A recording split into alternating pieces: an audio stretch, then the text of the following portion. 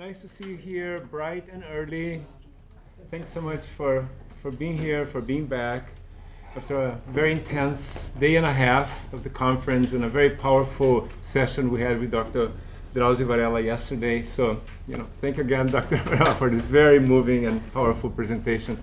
Uh, so, so we want to continue today, and I think we want to, you know, as we do, keep making connections or finding gaps, but we also want to move to other registers of the discussion about the city and health. So, so this morning, the first panel, we want to we want to see how the city and the subject, with its multiple social markers of difference, how how the city and the subject appear and are reworked on the registers of religion and, uh, and, and, the media. And I think this will, will take our conversation one step further, the question of visibility and invisibility, right? And the materiality of, uh, of, uh, um, of, of, of, people's reworking of themselves and of the city. Uh, as they also traverse, consume, ingest, perform, you know, religion and media. So we are deeply, deeply grateful to have a wonderful group of scholars this morning. So we have uh, Miriam Rabelo from the Universidade Federal da Bahia, and uh, we have John Burdick, who is the department and chair of the anthropology department of Syracuse University. And we have uh, Heloísa Buarque de Almeida, a professor of anthropology at the University of São Paulo. And we have our own Gabriela Nouzeilles, who will be the discussant, and she is a professor and chair of the Department of um, Portuguese and Spanish. No, no, no, kidding. Spanish and Portuguese languages and cultures. She always gets me. I always say it wrong, and I don't know why. Right? this is our only Brazilian Argentinian thing. This is the only one. so we are, we are super grateful that you're here, Gabriela, and so she will be the commentator. So without further ado, so we will begin with um, Miriam, John, Elo, and then uh, Gabriela, then we'll open up to discussion conversation. And again, we want to keep our presentations to 20 minutes so we have time to hear the comments and open up the discussion. So thank you again for being here, Miriam. Hello, good morning, everyone. Um, I'd like first of all to thank uh, João and Pedro and Bruno, Lilia and Antonio Sergio, the organizers, for inviting me and for the opportunity of being here. And um, I'll try to be very quick. My paper is called Religion, Healing, and Women's Spatial Practices in Salvador's Poor Neighborhoods. Well, in this paper, I want to focus on the trajectories of poor women from the city of Salvador who seek and experiment with religion as a solution for problems related to mental illness. Salvador's poor neighborhoods, um, bairros populares, gather a wide variety of religious groups that offer healing services. Pentecostal churches, houses of Afro Brazilian religion, Candomblé and Umbanda. There's one and another. And spiritist centers, Kardecist centers. I'll start here. Although people seek religious healing for a wide variety of issues, some are seen to be more closely related to the field of religious specialists. Mental illness is one of them. For a few years, I carried out research in a poor and densely populated neighborhood, bairro, of Salvador, called Nordeste de Amaralina, among women with problems related to mental health, broadly defined in terms of local categories such as nervoso, nerves, juízo fraco, weak judgment, and problema de cabeça, head problems. More than half of the women who took part in the research had resorted to at least one religion in search for healing all of them sought psychiatric treatment and, at least for a period, made use of psychiatric medication. In this paper, I will present the therapeutic itineraries of some of these women and focus on their experiences in the religious groups they approached. It is not my aim to evaluate the efficacy of religious healing for the treatment of mental illness. My goal is far more modest. I want to shed light on some of the possibilities that religious participation opened up for the women I met. Possibilities which, were particularly significant in the context of their everyday experiences of coping with illness in the neighborhood. In looking at some of the religious settings where the women were treated, I will focus on the practices that were performed for the recovery of their well being. I take these practices to be productive in a strong sense. Like any other set of healing practices, they not only bring about changes in a given situation or state of affairs, but also help produce the situation that requires their intervention. And like any set of healing practices, they mobilize many different elements various objects and techniques, substances, pe other people, words, in order to produce material effects on the bodies and surroundings of their clients or followers. They are thus practices of articulation. The term was proposed by Bruno Latour to refer to the process by which, through the help of several material components and artificial settings, a body learns to be affected, becoming sensitive and responsive to more differences in the world. According to Latour, practices of articulation not only produce bodies capable of discerning more differences in the world, but they also produce worlds that are more richly differentiated. Here I argue that an important dimension of healing of the healing activities carried out in the Pentecostal uh, and Candomblé groups, the Afro-Brazilian religion, in which to which the women resorted had to do with the production of new spatial practices in the bairro, in the neighborhood. The practices by which bodies and spaces were articulated in these settings were also practices that engaged the women in new modes of inhabiting and moving in the neighborhood. Mental illness alters in many significant ways the, the popular, uh, the, the landscape of popular neighborhoods not merely because it transforms the subjective experience from which the neighborhood is perceived by those involved in the daily management of the illness, but because it frequently transforms the way they relate to place and move among places. During our research, women often describe the emergence of their problem as an experience of uncontrolled movement in and out of the neighborhood. Illness disorganized their habitual modes of inhabiting places and living with others, but in their effort to deal with illness or to help those who were ill, some women were motivated to explore new pathways and to discover new possibilities of living together. To understand the ways in which religious practices affect women's everyday lives and movements in the bairro, I will present the trajectories of four women. Actually, I'll talk only about three today. Um, inhabitants of Nordeste de Amaralina. All of them are very poor, and most of their everyday activities are set in the bairro. The first one is Ritinha. Ritinha is a black woman of 28. She was born and raised in Nordeste de Amaralina, where she now lives with her partner and two small children. She's an initiated member of a local candomblé house, a terreiro. When we first met, Ritinha earned some money from the healing activities of her caboclo spirit. I'll talk a little bit more about that spirit in a while. Ritinha grew up attending houses of candomblé, known as terreiros, with her mother. When the latter passed away, she was taken in the care of a Pentecostal aunt. Then she started having seizures that prevented her from working. She was hospitalized in a psychiatric institution at the age of 15. A week later, however, thanks to her father's intervention, she was discharged from the hospital. Ritinha's father was convinced that her problem was caused by the African deity, the Orisha, to whom she belonged. Seeking to put an end to Ritinha's misery, he took her to many well known candomblé houses of Salvador. But it was during a festival held in a small and re relatively unknown terreiro in Nordeste de Amaralina, the neighborhood I'm researching, that Ritinha's Orisha, Ritinha's deity, answered to the drums and took possession of her body. Ritinha was initiated in, the, in that terreiro to Obaluaê, the Orisha of sickness and cure. Here's Obaluaê.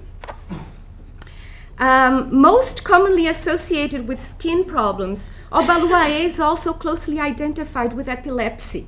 This link is vividly expressed in the spasmodic movements of Obaluaê as he dances to the rhythm of the drums. In the candomblé, affliction is one of the ways orishas, the African deities, demand initiation. The arrival of Obaluaye in Ritinha's body confirmed her father's suspicion. Her health required that the bonds existing between her and Obaluaye be sealed and cultivated. Initiated, she was subjected to both her Orisha and to the terreiro, the cult house, that mediated their relation. Her first years as a candomblé initiate were very difficult. She had, she had to adjust to a series of new demands, many of which centered on the obligation of coming and remaining, sometimes for days during a week, in the terreiro.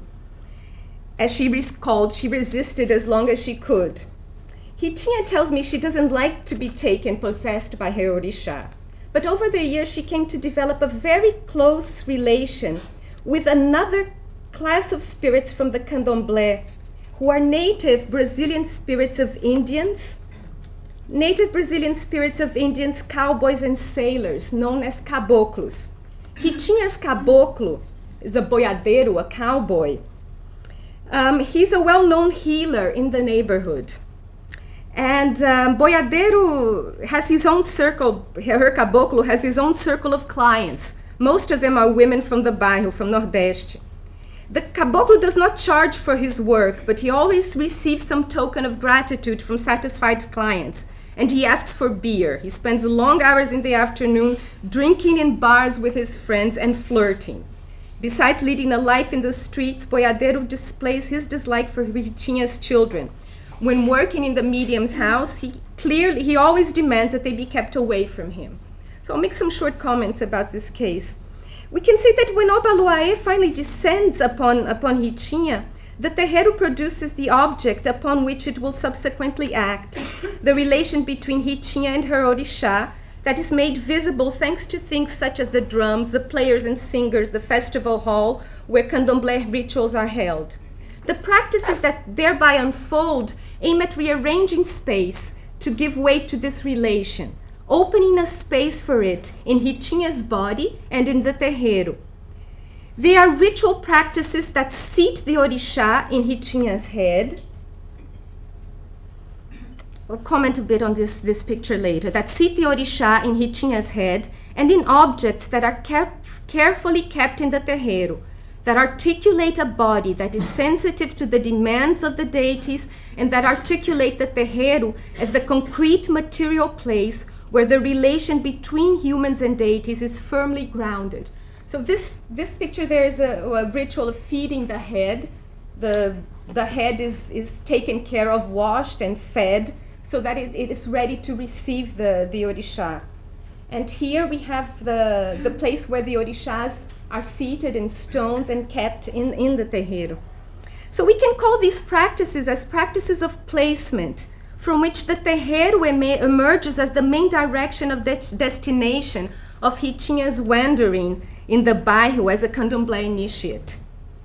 Now, the relation that she later develops with Boiadeiro, with the caboclo, also significantly, significant, significantly alters the way she inhabits the bairro.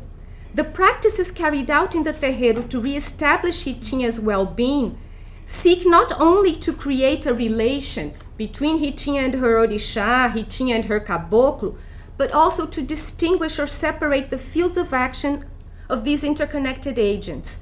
This leads to the production of new places and pathways in the neighborhood, the mediums and the caboclos. Through her boiadeiro, Ritinha engages in a masculine world of drinking, partying, and flirting. Now the second case.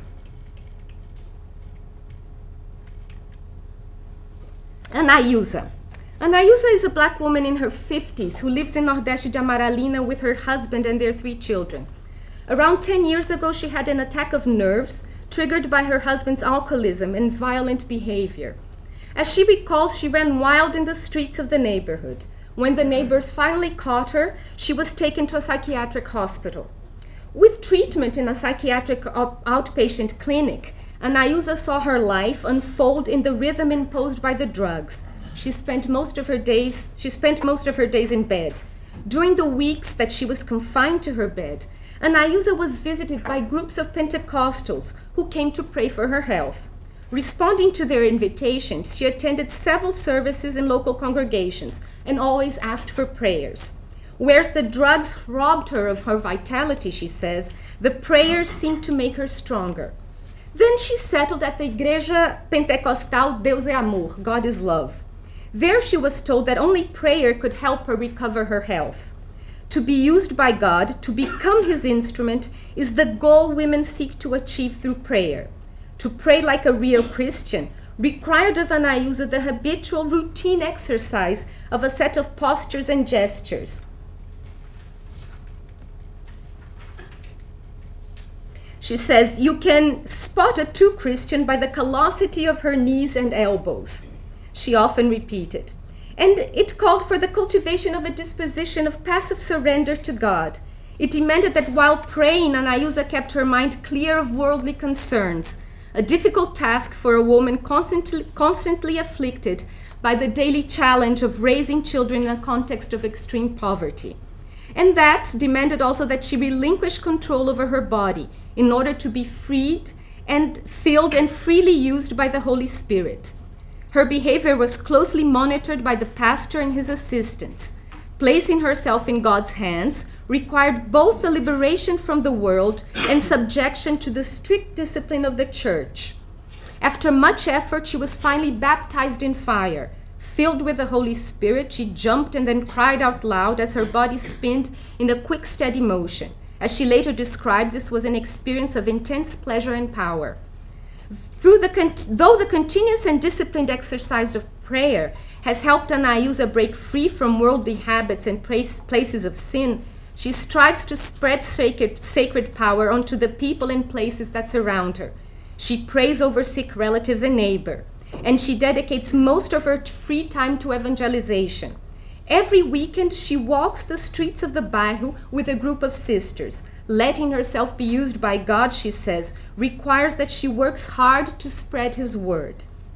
Now, not much different from Ritinha's case, the illness that afflicted Anaiusa and her experiences at the Deus é Amor church engaged her in new forms of displacement in the neighborhood. Afflicted by nerves, she was caught in a frantic movement along the streets of Nordeste. The psychiatric medication kept her stuck at home. Against this tendency towards immobility, the call of her Pentecostal visitors engaged her in, in a movement along the Bairro's evangelical churches.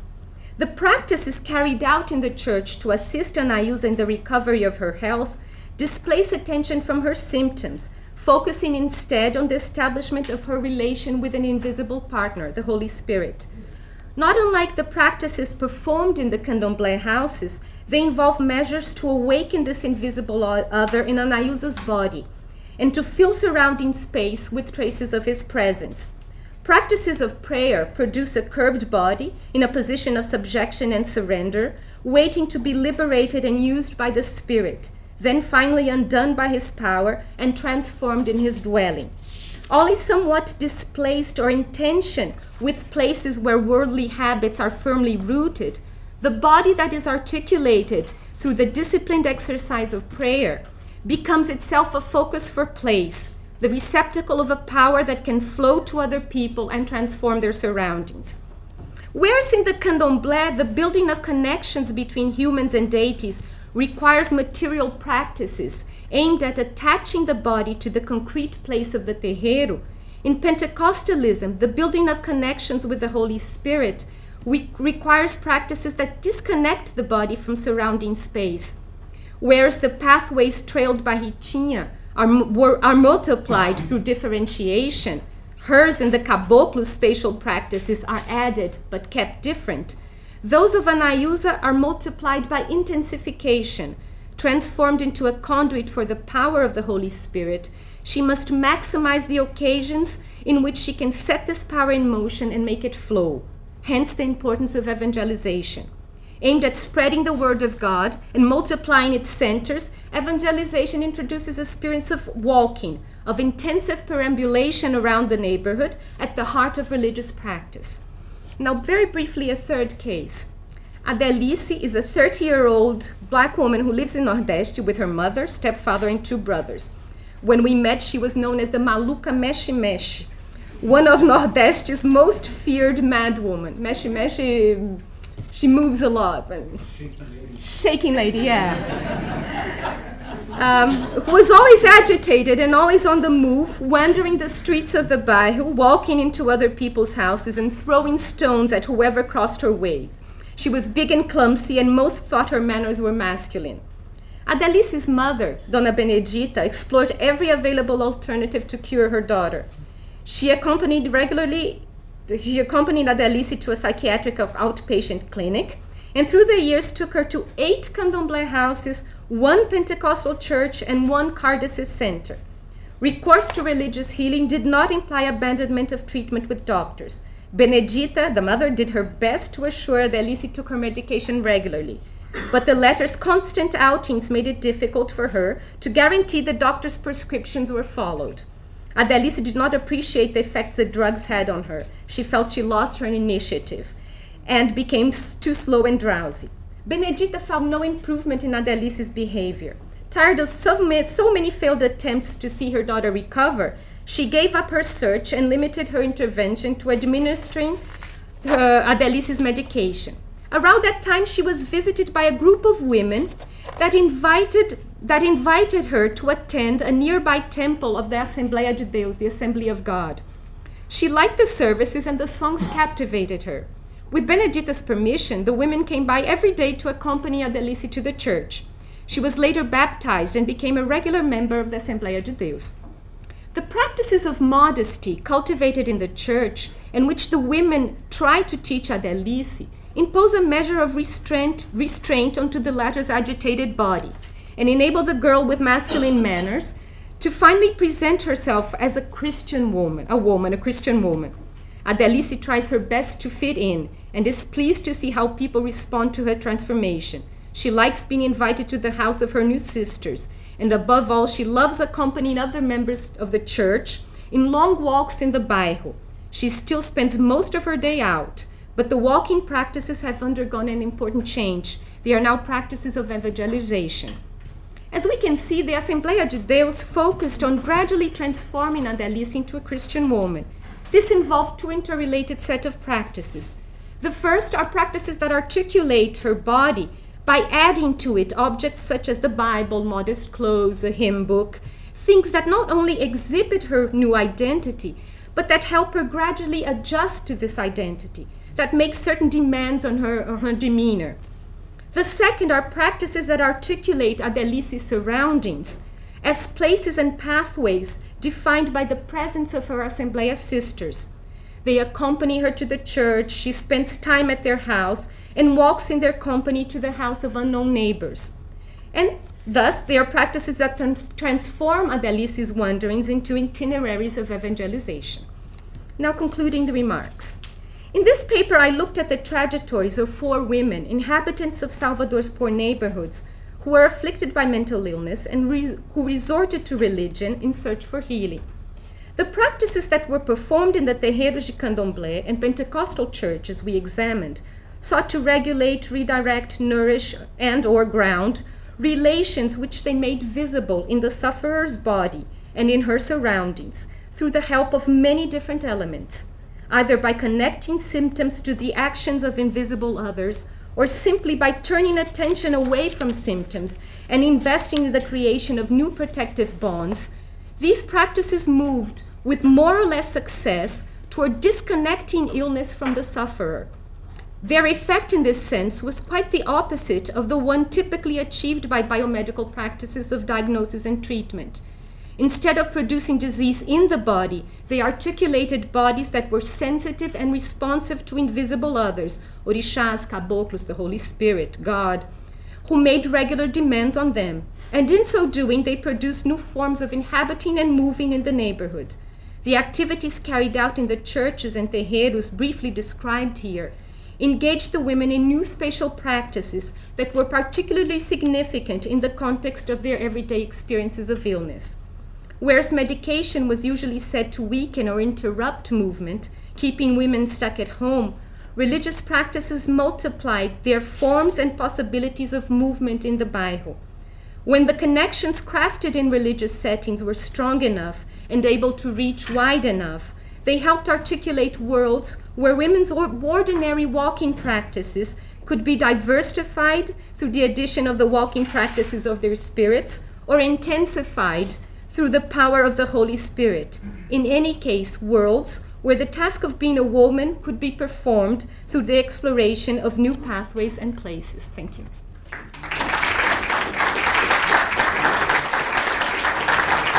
I also would like to join others in thanking João and Pedro for this wonderful opportunity. And I've learned an enormous amount and met new people, and I guess that's exactly what a conference is supposed to do. So I'm, I'm thrilled by that. Uh, I'm also very honored to be one of the few non Brazilians to comment on Brazil. Uh, this is putting enormous pressure on me and Alexander, but I think that it's appropriate. That this, this historical conjuncture, we need to be reversing the, the, the eras of, of uh, the politics of knowledge, and so I'm thrilled to be part of that. Um, my comments are about race, about cities, about a city, about religion, about gender. Uh, they are about health, but in ways that I'm not sure that I understand, and I hope you'll you'll help me understand how that how they're about health as well. Um, despite over 30 years of sustained black movement activism, deeply racist ideas are alive and well in Brazil. These include the notion that racism is a North American, not a Brazilian problem, that slavery in Brazil was less oppressive than it was in the United States, that Africa is an uncivilized continent, and that activism about race is corrosive of Brazilian national identity. Evangelical Protestants, and I'm not disaggregating that phrase for now, uh, we can do that during the question and answer, still among the fastest growing religious groups in the country, are in general of little help in the struggle to dismantle such ideas. Even when they don't embrace the ideas themselves, evangelicals usually have little interest in black identity and anti racism politics, believing as they do that all that as saved Christians, uh, they already enjoy full equality before God, that the individual soul is more important than any this worldly collective identity, and perhaps the biggest ideological bottleneck of all, that the religion so dear to the anti racist struggle, candomblé, is a playground of the devil. Yet at the same time, the past two decades have seen the growth among Brazilian evangelicals of the música negra movement, including the genres of black gospel, happy gospel, and samba gospel. And uh, I have a book that has just come out, which is an effort to compare these three musical scenes. It's called The Color of Sound, and some of these comments are drawn from, from this work. Uh, Sao Paulo is the epicenter of this movement. The last time that I counted, uh, there were more than 20 major black gospel choirs, corais, in the city, including Raiz Coral, uh, 200 amateur and professional Christian rap groups, and dozens of gospel samba groups. Over the past decade, I have examined whether and the extent to which this musical movement may be pushing back against evangelicalism's generally suspicious stance toward black identity and anti racism politics by reconfiguring black identity. In striving to understand the relationship between gospel music and black identity in evangelical churches, I've paid special attention to the role of gender. This paper argues that while male and female black Christian singers do indeed push back against their church's general rejection of black identity politics, they do so in subtly different ways, ways that have political consequences. Let me begin with Priscilla, a self identified negra in her early 30s, the lead vocalist uh, in Vila Matilde's Church of God in Christ. And all of the people I'll be referring to here, actually, the, the sample includes working class, lower middle class, middle class. So the, uh, Priscilla's lower middle class, and we can talk about what that means during Q&A.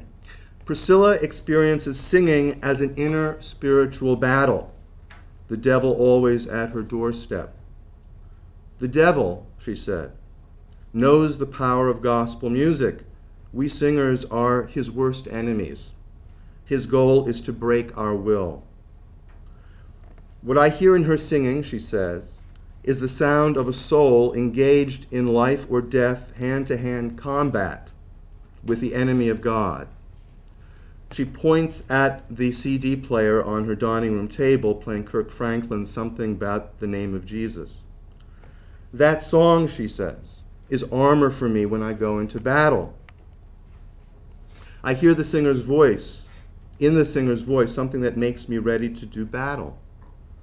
We listen to Delon Collins's voice belting out the line, It's just like fire shut up in my bones. The Holy Ghost is moving and just won't leave me alone. Along with the ache, Collins's voice is filled with ferocity, as if he were engaged in gladiatorial combat. Priscilla presses her lips together and closes her eyes. I hear a force of power, a supernatural force, because the singer is engaged in a spiritual war. That is what I go through when I sing. It is a very deep war, John. When I sing, I'm fighting. When I sing, I confront the devil. When I sing, I'm in a battle. When I sing, I feel the devil is near. I can feel him. How do you feel him? asks the anthropologist. I hear his voice. When I'm about to sing at the start, I start to sing, I hear a little voice trying to plant doubts in my mind about my right to sing before the multitudes.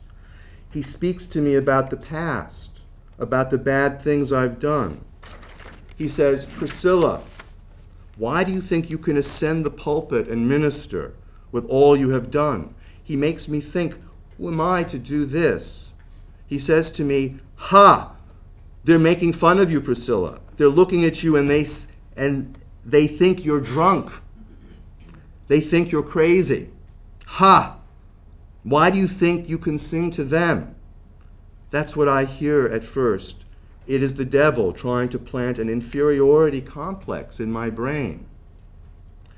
Priscilla then proceeded to tell me some of the things the devil reminds her of that she was tempted in the past, felt lust and greed and jealousy. She slept with men she shouldn't have, did not always walk in the ways of the Lord. Worst, she had felt moments of pride in her own voice.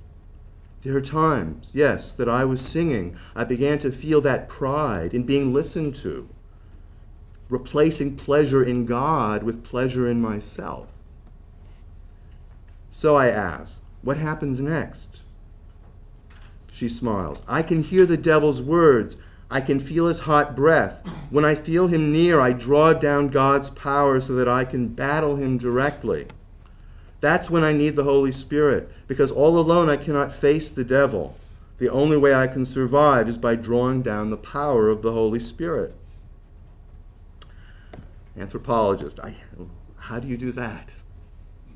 To draw it down to let it fill me up, I must rip myself apart, to break my heart open. With these surprisingly violent words, she places two fingers gently on the V of her blouse, right below the collarbone. I must rip myself in two, right here at the bone, digging down to a place deep inside my heart. When I do that, the Spirit enters. When faced with the Spirit, the devil cannot remain. And so I feel a welling up of joy as the devil slinks away, and I sing with even greater joy because the Holy Spirit has won. As Priscilla spoke, she clenched her fists and started to spar against an invisible opponent. With all this talk of bones, ripping, and digging, she sounded like a prize fighter, down but not out, climbing back up, adrenaline rushing to deliver a knockout blow. Now, I want to suggest that this interiorization of the spiritual battle is gendered, an effect of discourses that teach Brazilian women in general and female Christians in particular to regard themselves as unworthy of standing before the multitudes. In the churches I spent time in, women performed roles as evangelists, prayer leaders, and Bible study teachers, but only men could become pastors and preachers. This was justified by the epistle to the Ephesians, in which Paul states that God has ordained men to lead women. And in fact, many of the women I got to know stated clearly their view that God wanted men to be the leaders, both in church and at home. This reading of the Bible shapes how women think of themselves when they ascend the pulpit to sing. When I stand before the church, said Martha, a singer in her twenties, I am full of doubt. For a full minute I hear the voice of the devil. Yet these same women believed that if they sang with sincerity, God would move within them. Thus, for women in evangelical churches, the experience of standing before the congregation can be a deeply tense one between their religiously ingrained self suspicion and their conviction that God is moving within them. They experience within their bodies a collision between these two forces. It is a deep battle within me, Martha said. At the start, I don't believe I should stand there, a sinful, imperfect vessel so I close my eyes when I'm up there. I'm so shy that I just can't stand to look at everybody looking at me. The devil wrings my heart. It's like a pain in my heart, but then the Spirit comes and gives me the victory. The gendered nature of the experience of inner spiritual combat became clear to me when I asked men to describe their experience of singing.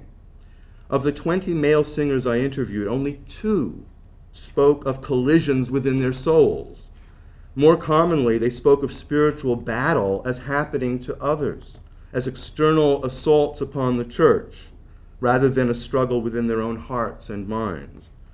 They did not describe an interior process. They spoke rather of an external battle between, on the one side, them as vessels of the Holy Spirit, and on the other, the devil they painted themselves as fearless guardians of the church, standing up against a force that penetrated the congregation from without and circulated in search of the church's weakest members. When I stand before the church, explained Sergio, I feel the Holy Spirit speaking to me. Sergio, now is the time to fight against the enemy. Look out across this church. The enemy is haunting this place. He has wandered in from the street. He is doing the rounds, tempting the souls of these people. Here, the devil is stranger. He is a con man who has wandered off the street. Gone is the image of intimate whispering into the singer's ear. Nothing about this picture raises questions about the male singer's right to stand before the multitudes. Nothing about it evokes an inner wrestling match with self doubt. We are in the presence of a full scale ethos of masculine self assurance. Male singers told me they arrived on stage strong in the spirit and launched right away into their singing. Mariano looked at me quizzically when I asked whether the devil ever bothered him when he began to sing. No, anointed by God, the devil cannot touch me. He comes to the church to trouble souls among the multitudes. When I sing, that chases the devil away. Now you'll see in a moment why I've gone into this into this uh, detail, because it's only through understanding the, the spiritual battle that I think we can understand everything else about what happens in evangelical churches, but certainly about singing. Let me now turn from how gender shapes the experience of spiritual warfare to how gendered ideas shape black gospel singers' understandings of God's plan for A Voz do Negro. With a consistency and fervor I found astonishing, both male and female black gospel singers told me that God had entrusted to negros the special, distinctive world historical mission of using their rich, vibrant, inimitable voices to bring humanity to salvation.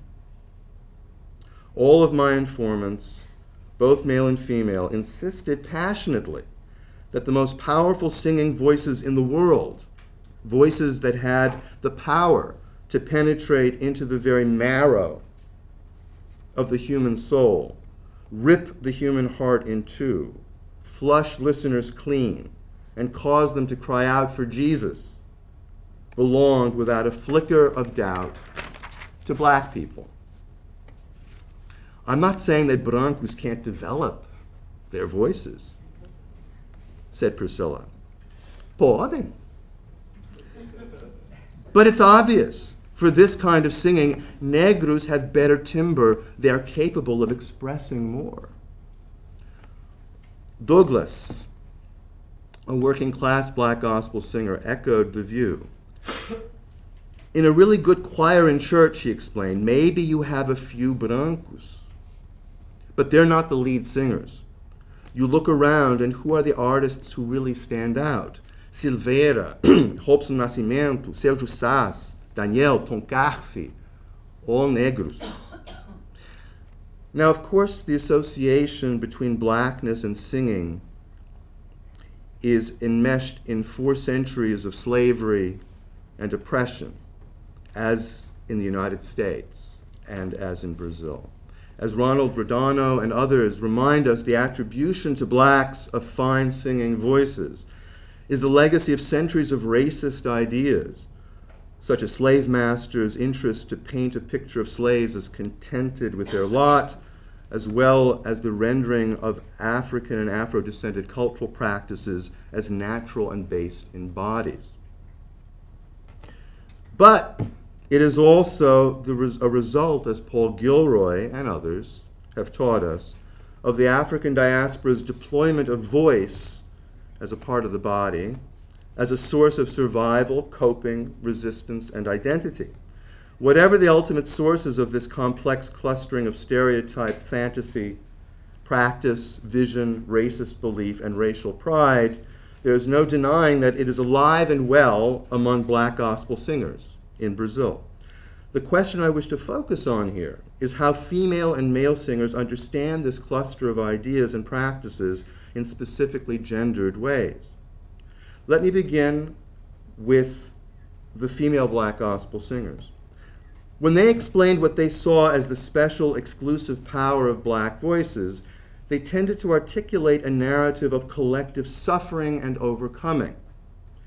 Negros bring their suffering into every note they sing, said Priscilla. Listen, really listen, and you can hear in the voice, a voz do negro, something unique. We sing with this emotion because we have suffered much in the past, and we still suffer. We endured slavery, and we are still discriminated against today. So you hear all of that in the voz do negro. We have a sadness that white people will never know, but they can hear it in our voices.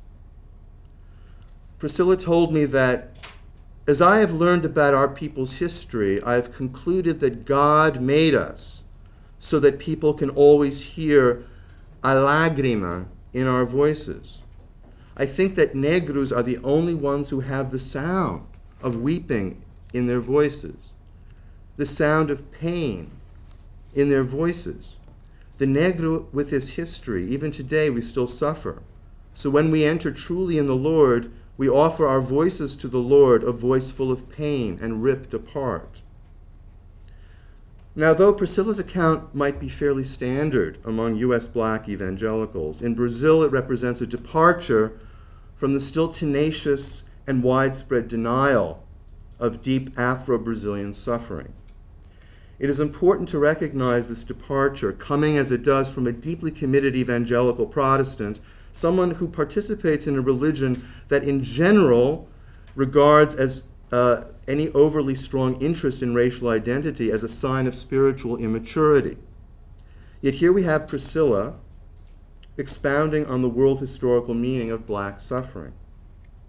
Yet it is a complex, paradoxical expounding hard perhaps to be understood fully by those who do not share Priscilla's theological worldview. Listen, for example, to her commentary on the diary of a slave woman. Uh, the U.S. slave narrative by Harriet Jacobs, which a friend had given her to read. There in that book, Priscilla said, this woman says that singing was what they had. They could not cry out against their oppression in any other way, but they could sing. I think that is what God had in store for us. He needed us to sing, to express our pain in that way, because He knew that this would cut through the heart to the hearts of listeners. Not that God planned that we would be enslaved.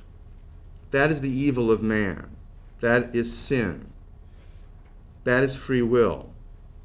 But God is all powerful. He sees and uses all to the benefit of all. He uses the benefit in everything. God needed the tears that we shed. He needed the tears in our voices. He needed our brokenness. He needed the sadness in our voices. He needed this because this feeling of brokenness when we sing touches the hearts of man.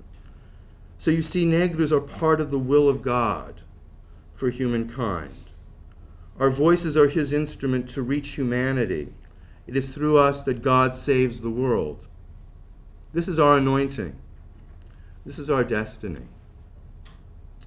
This is also, of course, a very difficult view for anyone who does not see the will and design of God in the fall of every leaf, as Priscilla does. Uncomfortably, perhaps, for some of us, Priscilla is here portraying the history of black suffering as itself ultimately part of divine design. In her recounting, it was the history of enslavement and oppression that ensured that black singing voices would have the power to touch the deepest parts of listeners' souls. I heard this point of view expressed in one way or another by most of my female interviewees. I'm going to skip over a little bit here. Now, I will I also found that uh, this view went hand in hand with celebration of black refusal, rebellion, and resistance.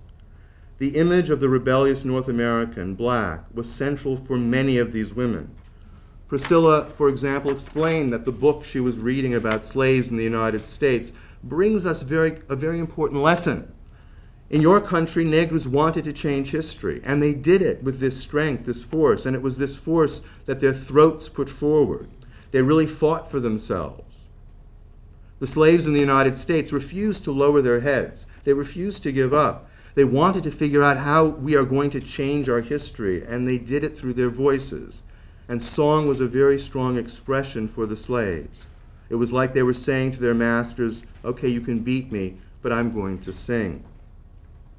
Now, the male black gospel singers I got to know accepted the narrative that black voices derive their world historical power, their power to save souls, from a history of this worldly suffering. Yet, and this is the key point I want to underline, their emphasis was elsewhere. When I asked them to talk about God's plan for black voices, they would eventually get around to the history of suffering. But they did not begin with it. Instead, they would always start by drawing my attention to a series of Old Testament prophecies that God planned to call upon a strong, brave, powerful people from Africa to offer their gifts to the world. I heard this idea for the first time from the famous black gospel singer Sergio Saas of, of Raiz Coral on stage in front of thousands of fans. As he ended a set, he opened the, his Bible to the book of Isaiah. My friends, he said, the 18th chapter of Isaiah speaks of a people from a land beyond the rivers, from Ethiopia. Listen to the seventh verse. In that time a gift shall be brought unto the Lord of hosts by a people tall and of glossy skin from a people terrible from their beginning onward, a nation that is sturdy and treadeth down, whose land the rivers divide to the place of a name of the Lord of hosts. Do you see? It is a prophecy. The black race is fulfilling the prophecy. It began with the Americans because they followed Jesus before we did. They filled their churches with praise before we did. But now we are going we are doing it too. Now is our moment. Now it is our turn, Brazilians. Through our song, our voices in song, we are delivering souls to the Lord. He has endowed us with the most beautiful, powerful singing voices in the world in order to fulfill prophecy so that we may convert the masses throughout the world. Later, when I asked male black gospel singers to explain what it was that God had done to endow their voices with such qualities, they emphasized not histories of suffering, but rather their voices' physical features and prowess. Indeed, they embraced what I can only characterize as a bioracial, bioracially deterministic view of their voices. The black has natural resistance or strength in his voice, Sergio Saas announced to me. His throat muscles are stronger, more numerous, more resistant than any other race. There was no mistaking his pride when he said this. We have the strongest voices in the world.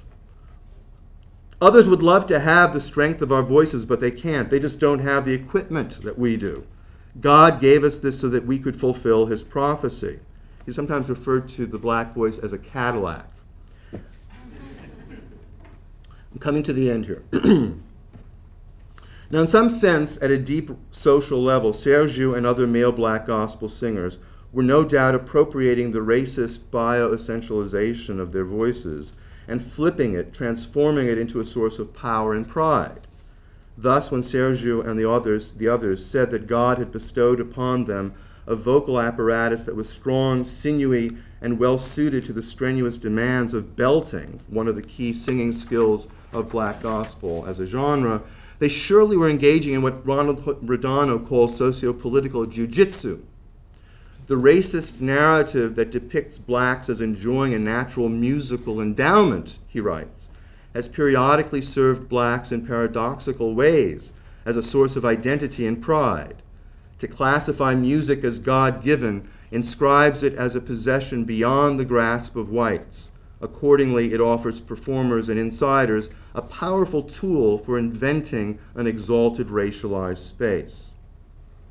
To conclude, I cannot claim to understand fully why male black gospel singers, in explaining how God used their voices to bring about the redemption of humankind, emphasized physical vigor and strength rather than collective suffering. Perhaps, as with the male view about spiritual warfare, ideas about natural vocal prowess are quite simply one more manifestation of the ethos of hypermasculinity. Uh, it is surely no accident that the men I spoke with took pride in describing their vocal apparatuses as they might other parts of their bodies, as muscular, large, resilient, and thick. They seemed to downplay, meanwhile, the narrative that highlighted weakness, suffering, vulnerability, and the paradoxical quality of God's will. Instead, by emphasizing the natural endowment of the black voice, they seem to be thematizing their own strength, toughness, invulnerability, and God's will as clear and unparadoxical. In contrast, the female singers I got to know were more comfortable and interested in a narrative of suffering and overcoming in the context of a kind of divine tragedy perhaps mirroring their own experience of the world. In the last paragraph, I'm, I'm skipping a section where I talk about the political consequences of this. We can perhaps discuss that. I hope that the views I have brought to the surface today allow us to complicate the assumption that there is no serious thinking among evangelical Protestants about race, racism, and blackness. I also hope it is shown that we must always look closely at the difference gender makes and consider the subtle, intersectional ways gender shapes modes of thought and action about racial identity and struggles for racial justice. Thank you.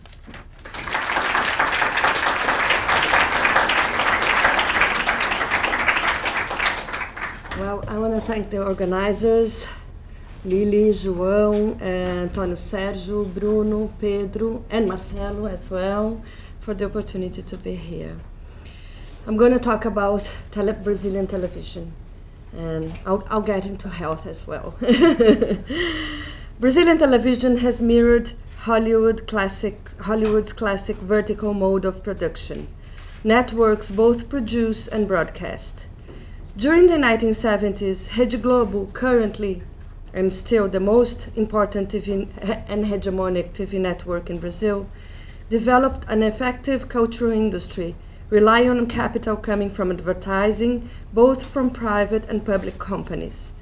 It monopolized most of the audience throughout the country during the 1970s, 80s, and 90s, and therefore had the largest, and still have, the largest revenues in advertising when compared to other media in the country.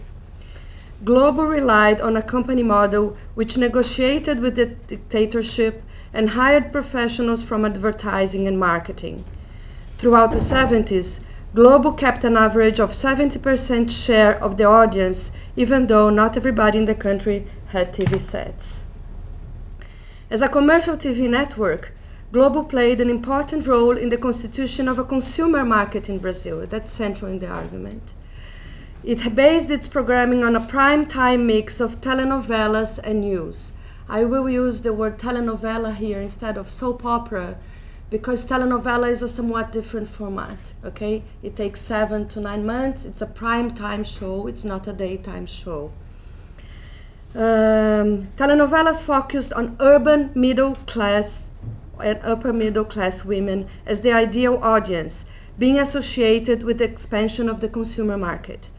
Until the, until the 21st century, telenovelas have been a shared cultural repertoire, and Globo's hegemony was undeniable. During the 70s, under censorship, most telenovelas focused on subjects related to Brazil's process of modernization as the background for love stories, family conflicts, and emotional plots.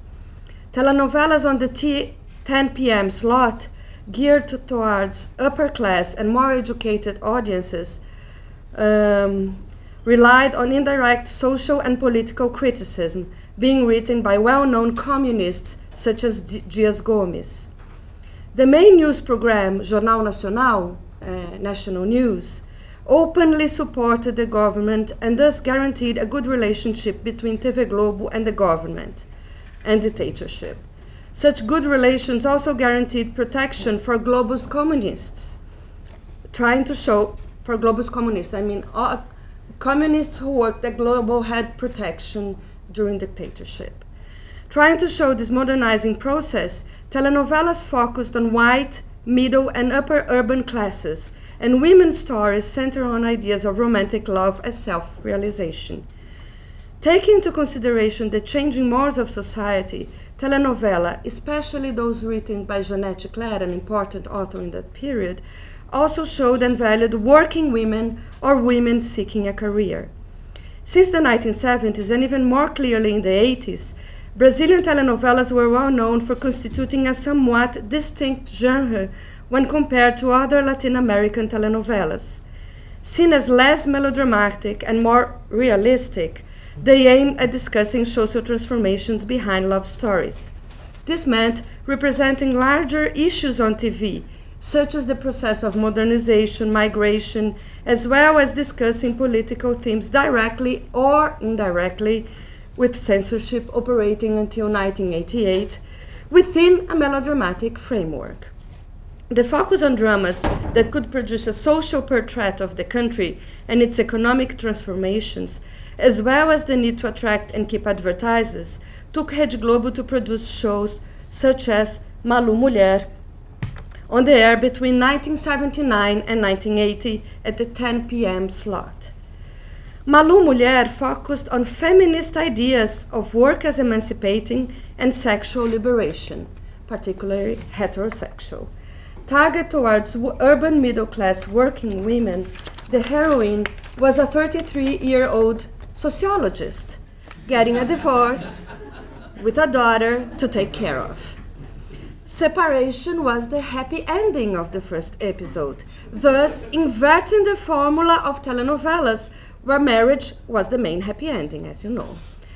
Malu wants to free herself from a marriage that does not satisf satisfy her, that seems to be false.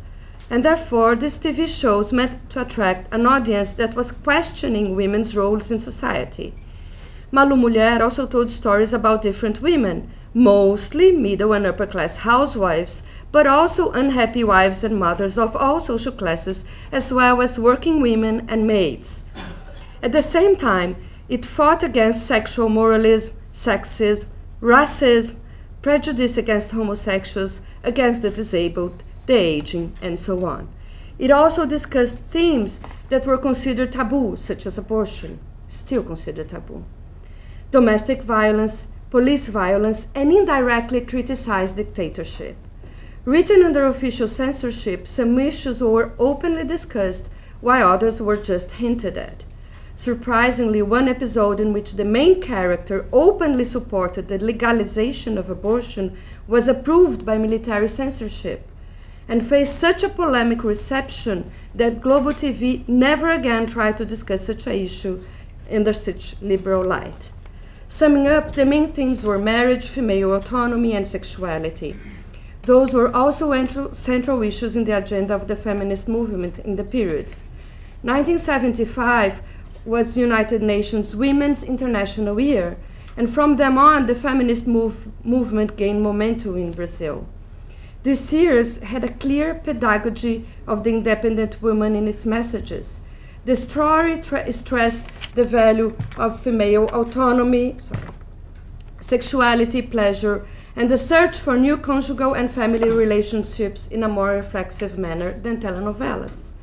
Nevertheless, such feminist discourses were expounded by Regina Duarte, an, an actress nicknamed Brazil's sweetheart, namoradinha do Brasil, because her public persona was that of a good, gentle, virginal young woman, and which is why I put those images over there. the image of the sweet girl next door made it possible for her to skip censorship and give heated speeches about abortion and domestic violence, for instance. Before this TV show, well, she cannot escape the image of Brazil's sweetheart, even in Malu Mulher, as you can see in this picture. Before this TV show, divorce used to be censored on telenovelas and were only shown on North American series broadcast at the 9 o'clock slot, as well as on plays on songs. However, the major telenovela heroines of the 1970s were already professional women who got over their disappointments and suffering through their work. Author Janete Clair has been responsible for many successes on TV, declared in an interview that she was herself an independent working woman. woman. In her stories, though, the happy ending evoked successful love stories. In Malu Mulher, however, the work was the issue under discussion. What is the meaning of work? What are the implications of having a career? And what inequalities do women face? During the 1970s, the fields of the advertising and marketing developed in Brazil, influenced by North American techniques. Most of the population was seen as a marginal market, while advertising focused on what they called middle classes, meaning classes A and B in their terms. Middle class was then a term used to define roughly 20% of the population. But Globo TV knew that its audience also came from the masses, particularly from the 1980s on. High inflation and the lost decade for the economists, though, meant that the active market was restricted to white urban middle class people, and the consumer was and still is considered mainly to be the female audience seen as housewives. So when we analyze the uh, audience uh, researchers and market research, there is this category of housewife. Although they may, might also have a job, housewife is the word still used in Brazil for what is known now in, in the US as PGS, Principal Grocery Shopper, in North American market research. The point here is that in Brazil, consume is seen as feminine. Okay, now th that's why the word housewife is still there. During the 1970s and the 1980s, many, many telenovela authors saw maids as their main audience. Maids who lived in their employers' homes watched such stories in the evening during their leisure time. Telenovelas showed modern working women plus good mother plus loving lover plus beautiful and glamorous women as the main heroines.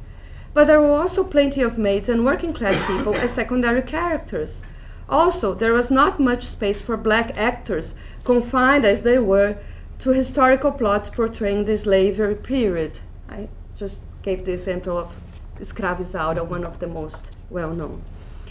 But even if Globo knew that its audience was not restricted to upper middle classes, advertisers did not consider lower middle classes or the working classes as their target. In the 1990s, a new focus on the working classes started to arise. Then Globo's strategy, called Class C? C class. Then Globo's strategy was linked not only to showing a vague social reality, but also to promoting what was then called social merchandising, which means educational messages displayed in teledramas. This was a moment in history when TV producers publicly assumed that TV could influence society.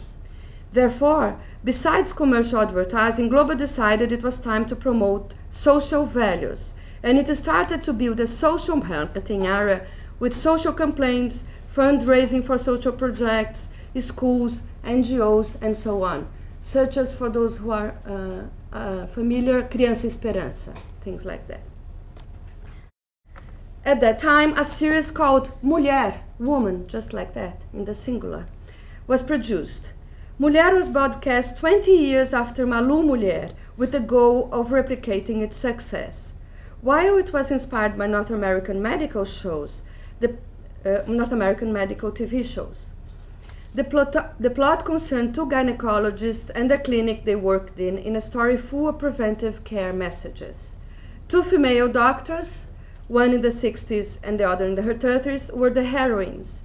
Amidst many births, consultation and exams, family issues and love stories, the series conveyed, conveyed messages about contraception, HIV prevention, early detection for cancer, and so on. Once again, dramatic conventions on the opposition of good and evil are clearly stated in, in these health messages. Both shows, Malu Mulher and Mulher, as well as many telenovelas, are not explicitly melodramatic, for they tend to find nuances on bilateral positions. But they are clear and direct regarding health messages. Those who are against the appropriate treatment are villains, as, as well as those who do not take, care, care, take at according to what is considered appropriate preventive behavior. And some unethical doctors who attack the heroines are also the villains. The drama need not, needs not to be too mellow in order to function as a moral message. The drama is also politically malleable enough to assume both a feminist point of view or a pedagogical health message. When comparing both TV shows, we see that the first one was more attuned to the feminist agenda and was presented in a, uh, in a pedago- pedagogical way, although it had its ambiguities. Malu was explicitly feminist in most episodes, at least for that period in Brazil. Divorce had only been regula- regulated two years before the teledrama was broadcast, and the series defended the idea that sex and orgasm were important for women, whether or not intercourse was associated with love. It also discussed marriage, abortion, and domestic violence, and it portrayed homoerotic love in a positive light much before this theme appeared on telenovelas. In Mulher, 20 years later, though, heterosexual sex was already liberated for women, but abortion as woman's right was never defended. Homoeroticism was not discussed, and the focus on motherhood tended to be normative. Its focus was on health and preventive care issues, including the use of condom and early detection for for ca- of cancer, as well as contraception. Mulher stressed the view of the private clinic with the latest treatment and technology. The public ambulatory in the there was the private clinic, a very elegant house, and on the back of the private clinic, the public ambulatory, uh, working with SUS. The public ambulatory also served to criticize the state of public care in Brazil. Globo's official discourse on its own series stressed that it was not a pedagogical proposal per se, neither a channel for informative messages only. However, as each episode had clear health prevention messages, it could be seen as an emphatic application of the social merchandising project that took place in many telenovelas since the 1990s. It was also the space for polemic subjects rape and sexual violence, abortion, euthanasia, domestic violence, alcoholism, sexual practice, and female orgasm. The approach was not necessarily feminist. For example, although helping and curing women with complications after unsafe abortions, the heroin doctors never argue in favor of changing legislation, and they stress repeatedly the importance of modern techniques of contra contraception. Moreover, it promoted private clinics with all the newest technologies in image diagnosis, complex surgeries, and the latest medical equipments, even if they rarely advertised the pharmaceutical industry, except Viagra once. In the end, it showcased most up-to-date equipments which were only accessible to part of the population. At the same time, scenes in the public ambulatory portrayed lack of information among the working classes and problems in the public health system, including corruption. During this period, there was a public debate, debate on the high rates of C-sections in Brazil. Since the 1990s, the health ministry was trying to promote vaginal births, stimulating the humanization of the birth movement. These initiatives were supported by the World Health Organization and the World Bank, with the support of NGOs and feminist groups. Professional medical associations were also active in the debate.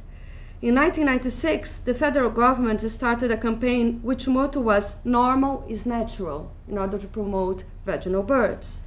Although the TV show's content was not exactly attuned to the demands uh, concerning humanization, the heroin doctors emphasized the importance of natural births as the most legitimate alternative, leaving C-sections only to necessary or risky situations. In face of polarized positions, one defending medicalized model of birth in which C-sections were portrayed as safer alternative, and the other stressing humanized natural birth, the show did not mention the debate explicitly, but dialogued with the theme, showing a somewhat intermediary position.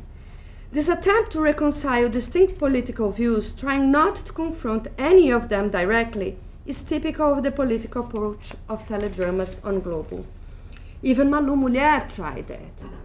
That might happen because Globo produces for a mass audience, the whole country, and tries to please everybody in order to maintain its audience share.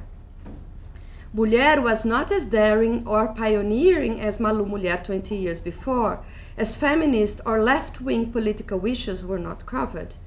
Homosexuality, although present in telenovelas at the time Mulher was broadcast, were, was not discussed, nor was ra racism.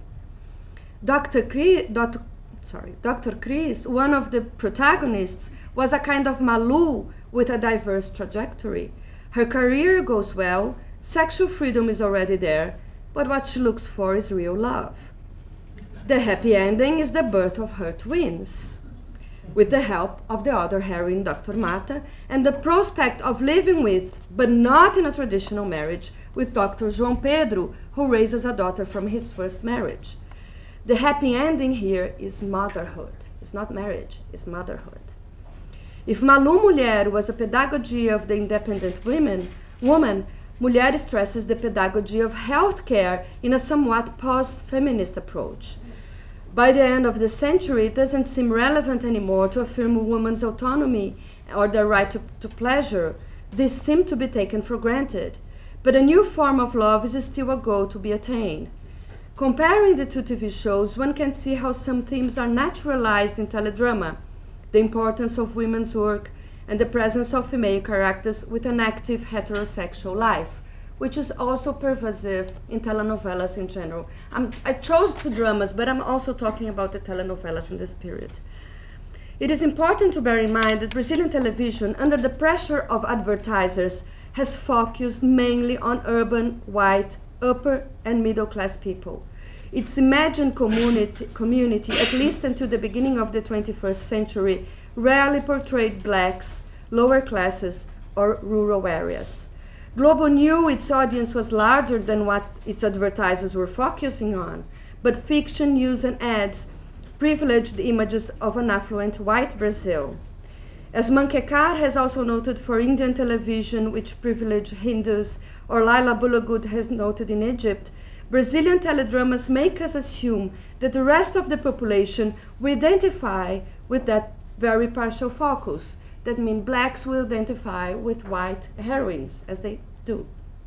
Television conveyed a certain lifestyle, the inspiration of which came from a small segment of the population as a model for the nation, and surely it was also teaching the logic of a consumerist society to the whole population. After Lula's government, when income distribution programs such as Bolsa Familia and also with the so-called new C class, there is a recognition in Brazil that lower classes or people living in favelas are also consumers. This goes hand in hand, of course they were consumers before, but this goes hand in hand with the World, World Bank's praise of the new middle class expansion among the BRICS. However, Rede Globo is still mainly white in its dramas. Medical settings tend to favor high-tech equipments and interventions, as in Mulher. Advertisers and major companies still re resist putting black actors on commercials. The presence of black actors is almost limited to official ads from state or federal government, or it is limited to an advertising of Brazilianness through soccer or carnival, as in beer commercials. Advertisers do not want to associate their brands with the new ascending middle class, for those are still considered ugly in their terms, which is often an euphemism for non whites in Brazil. Nor do they want to associate their brands with the precariousness of favelas. Globo TV knows that its audience is not restricted to upper middle class, but it has to negotiate with its main clients, the advertisers. Thank you.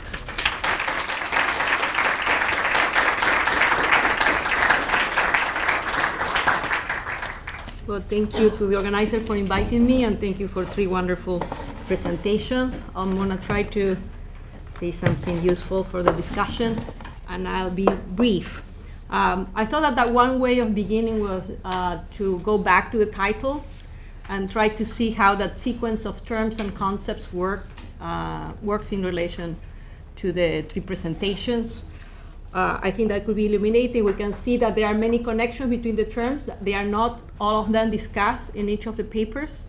And also you, we can see different sequences of meaning according to each presentation. Uh, so let's begin with health. Um, in the three uh, papers, we see uh, that health appears as a practice that has to do with treatment or interpretation of pathologies and also appears as different forms of pathology. Mental illness, in the first case, reproductive health, in the case of Eloisa's paper, and in the case, in John's case, uh, I thought that even though it's not addressed directly, uh, there is a reference to pain and traumatic memory that would be maybe a way of thinking about pathology and illness in that case. Um, and this seems to be very clear, but then it becomes immediately complicated because we see that both illness and health are problematic and unstable concepts in each of these papers.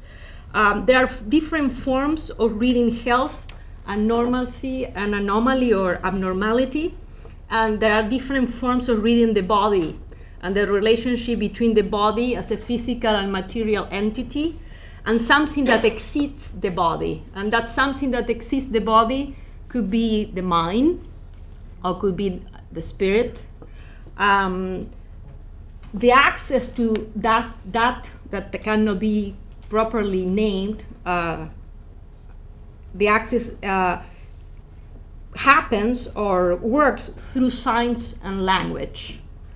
Um, and then, then we see people trying to read the excess of movement in the first paper, uh, people trying to read um, or to interpret um, pain in, in, in, the, in the case of the evangelicals and, and singing, but we can also see anthropologists and professional critics trying to read these people through testimonies, through testimonials, and through interviews, uh, or through witnesses, witnesses, witnessing particular practices.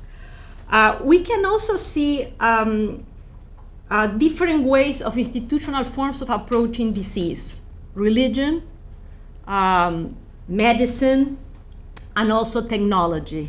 No? In the case of the telenovelas, technology appears on, uh, on display. Um, and in the case of the, of the women uh, who suffer from an excess of movement, we can also see that, that there are different uh, institutional ways of approaching those diseases.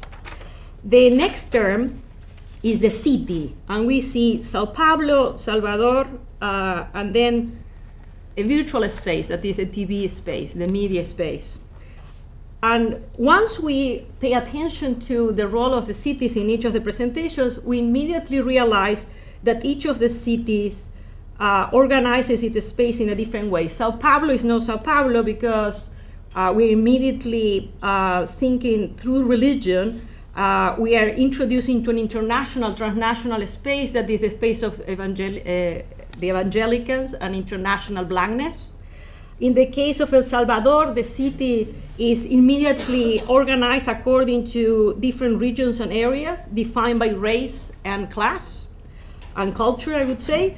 And the TV, even though it's produced in the city and projects an urban imagination, um, also has to do with the idea of an imagined community that transcends that space and has to do, to do with the idea of a modern Brazil, maybe, of, uh, or modern society beyond Brazil.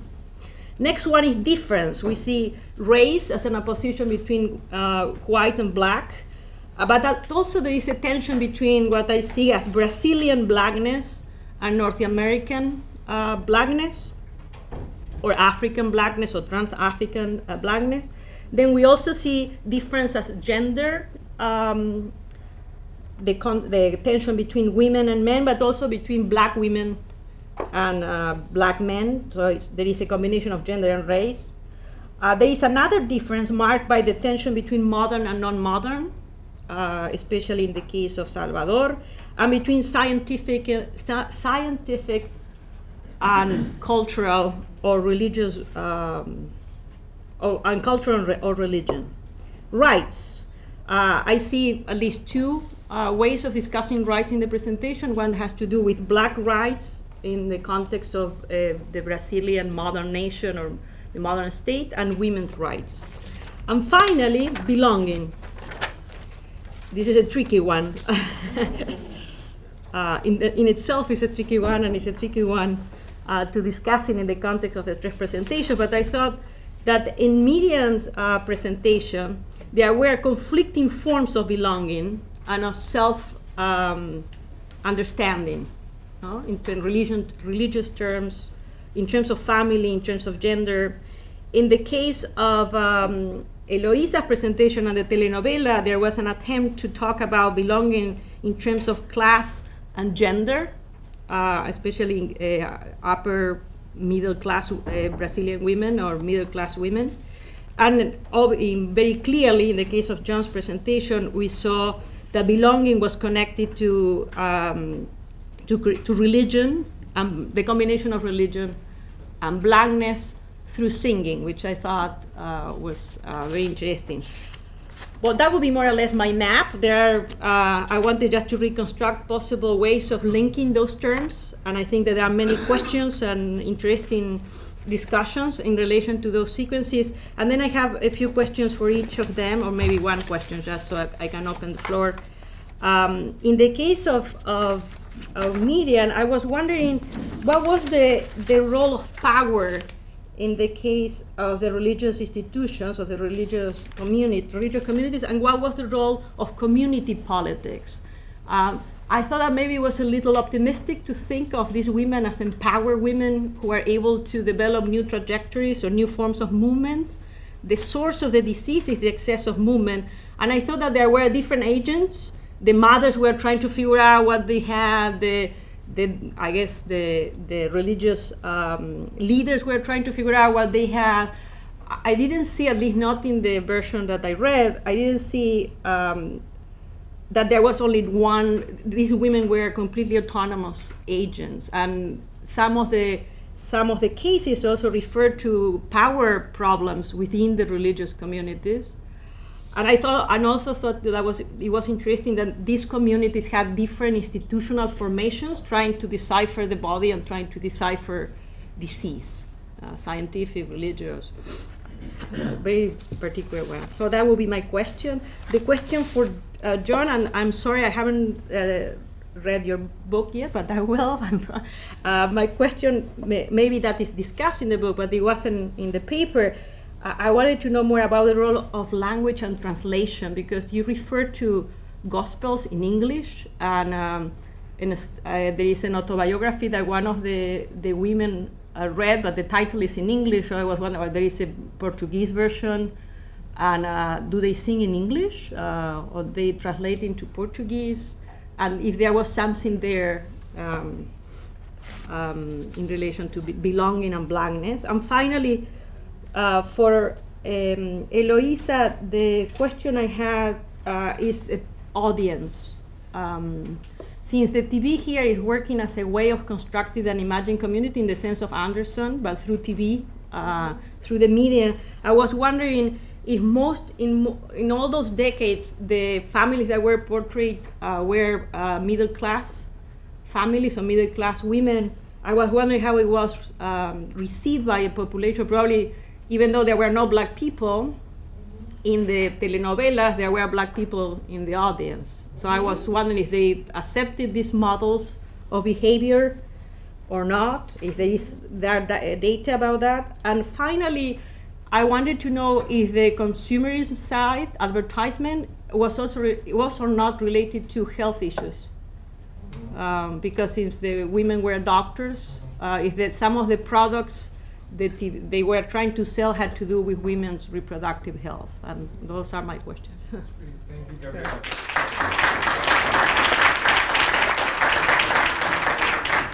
Thank you so much for rich presentations, uh, terrific comments. And now we want to open up so, so, that, so you can collect your thoughts about the question of power, language translation, and audience. So while they, while they uh, collect their thoughts, we'll select uh, some questions and we have two rounds. I already had Bruno, Bridget, Ron, Pedro, Marcia, me. we condensed. You know, I'm always more condensed than I could be. Ah, okay. you guys are in enough trouble. comments, there's already so much there, and it sounds like it would be a, a barrage of more comments, questions, which is a sign of how, how wealthy and rich and suggestive all of the, all of the four um, talks were. One is, um, it's nice to hear, it's great to hear a, literary scholar reflect. We keep talking about how language matters from all types of different perspectives. Uh, and we did reflect about the progression of these concepts. So I suppose we must say that health in the city part was meant to evoke sex in the city. um, so returning to language, uh, and uh, I'm glad that is, is here. Um, I, I think, John, one oblique opening uh, through which I think uh, uh, we can link health to, to, to, to, to your material, your research, your reflection, is the shared etymology of salvation and salud, mm. which is mm. certainly not direct, just occurred to me. And uh, there, there, are a lot of vectors here, and I, I, I want to introduce many more. I'll introduce one uh, other one that I'd like to hear you guys speak more about uh, which is just a question of, of, of space and scale. One of the wonderful things with Eloisa's research is this idea of the city penetrating people's homes in rural areas, et cetera, et cetera. Um, and uh, Miriam's reflection was very concerned with space in many ways, with, uh, with itineraries and walking, et cetera. But I wanted to hear more about architecture, kind of places and spaces we're talking about, care and worship, et cetera. And I'll, I'll leave it at that. Bridget? Um, I also want to thank all four of you. This was wonderful, and the, your papers just spoke to each other in, in really interesting ways. Um, but I had a question for John about um, in the early part of your paper where Priscilla is dramatizing this um, kind of inner monologue between the devil and, and God, where the devil is basically um, shaming her in this distinctively gendered way. And so you say it's kind of like an internalization of church discourses about the role of women and how they shouldn't be in front of people. Um, but I was wondering if first whether there might be something um, something novel or, or even quite radical about the ways in which that discourse gets consolidated and articulated and then put in the mouth of the devil. Um, so it seems like there's a kind of a sort of objectification there. I'm thinking of Webb Keane and Irving Fire. I thought there was a lot of resonance there. Um, and then second, um, how after that that voice is placed in the person of the devil, it enables her to switch to this, what seems to my ears, this hyper masculine um, language of battle, combat, um, armor, fighting, war. So I just I, I, wanted to ask you maybe about if, you thought about that potential, that potentially radical reading of this. Yeah, I have a question for John and for Eloise as well. And also, uh, thank you all for the very insightful lectures. John, I may be, perhaps I may, I may be unfair with you. And if so, I apologize even before I, I make the question. But I did have the impression to listen to you while rendering Priscilla's statements, Diego's statements, Marta's statements, a sort of a sort of a deliberate ironic detachment. Mm. And I think that sometimes when we deal with the evangelical movement, we allow ourselves to have this ironic detachment without reflecting upon its consequences for an anthropo anthropological work. And then I sensed, I missed the two points in your lecture, but again, you could not read the section, the political section, perhaps it was there. Mm. Is that actually Priscilla's statements are not Priscilla's statements. They are rhetorical devices. One of the main, most important novelties of the evangelical movement in Brazil, the evangelical movement is providing a language a worldview and the rhetorical devices for people in Brazil that never had any sense of belonging, did not have education, did not have any networks of solidarity, which the evangelical movement provides. So the main rhetorical device employed by Priscilla, Marta, the it doesn't matter if it is male or female, is, if you may, a miraculous multiplication of personal stories of fallen redemption. This is the main rhetorical device of the evangelical movement. There is always a story of fall and then redemption. And I think that uh, this is a very important point that I think, at least in your presentation, I have not heard. The linguistic dimension and the fact that the evangelical movement is providing a language and a worldview with very specific rhetorical devices. This is the point that you usually overlook. The second point is that the, the gospel music is business. It's all business. It's very common now in Brazil that former popular singers that went out of public favor. They went through very public process of conversion, and then they become gospel singers. And so the evangelical movement in Brazil is creating cities within the Brazilian polis. They have a political project. They have alternative job markets. They provide a sense of social security that Brazil as a state never provided. So I think that those two dimensions, I, at least I did not listen to your presentation. If I'm unfair, I apologize. you know, it's a very, very quick question. I have the impression that sometimes in Brazil, we attribute to Network Globo a protagonism which it does not have. I think that we do it because we project our anxieties on Network Globo. And we say, Network Globo is all white. So we are. The Brazilian guests of this conference are all white. And I would like to listen to you about the growing of the Record Network the, the evangelical network and whether or not it will challenge or if it is challenging the hegemony of the global network. Great. Roving questions, great. Pedro, uh, well, uh, thank you all for your um, I have a question to Miriam. Miriam, I, I had read your paper and it's even more beautiful now than I heard uh, from you. Um, it's a question about the closeness. Uh, I was struck by the closeness between evangelization and, and Afro-Brazilian candomblé. There is something, and I somehow go back to the language question that is hovering here. Uh, it's about Pentecost Pentecostalism in, in, its biblical sense. I mean, the moment in which you hear you speak languages in the plural. I, I was really uh, curious about uh, which, what kind of language is being spoken there? What, what can you do? What kind of Portuguese is that? What kind of Afro-Brazilian Portuguese is that? Uh, and also a question that is for you and, and perhaps John. I mean, it's, it's about uh, which is not, I think, a word that really appeared as far as I remember. But it's it's all about actually a, a, a taken subject and the whole literal concept of a subject control of, of his own mind or her own mind is, is in question once you talk about that. It's, at the same time, it's clear in your presentation, uh, John, that there is a battle about this control over mind or body, spirit, self-control, regaining control for the body and the soul, and, and you genderize that somehow. This is interesting. And for Louisa, I have a very, uh, I'm very curious to hear you about this uh, sort of opening end of your presentation when you talk about the Lula era and the, this sort of resistance to the acceptance of the, those new characters. And this goes back to actually Jean Cesar's uh, teasing question uh, about uh, this C class. Uh, is it true that it's not, the C class is not in advertising and teledramas? I mean, where is it finally? Because they, they are consumers, so mm -hmm. there must be some, the market is not blind or deaf. Okay. Um, to address Gabriela's question, uh, first I, I, should say I was not really talking about the formation of autonomous agents that, that would like be completely freed from, from power structures. That, that was not really my point. And if we, if we take Candomblé and, and Pentecostal churches, I mean, Candomblé, Terreiros de Candomblé have strongly hierarchical communities, and when somebody is initiated to the Terreiro, he has to endure a lot of, of um, there are many demands placed on that person. He can't or she can't stand up in front of her seniors. She has to do a lot of, of housework in the terreiro. So, I mean, there, there's a whole process which is called in Candomblé making the person.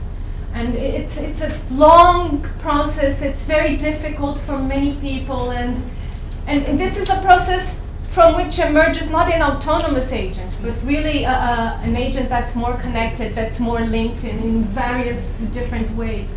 I, I don't think we have to think um, uh, power and the formation of agents as contradictory terms. I really like the way Saba Mahmood worked this, this Foucaultian idea of the, the relation between power, the exercise of power, and the formation of agency.